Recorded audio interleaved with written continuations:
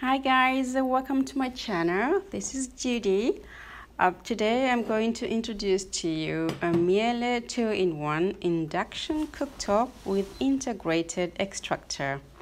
This is an amazing cooktop, so watch how it's working and it could be an idea for your next invest investment, kitchen investment, okay? Watch till the end. Thank you for joining and consider subscribing to my channel. Thank you.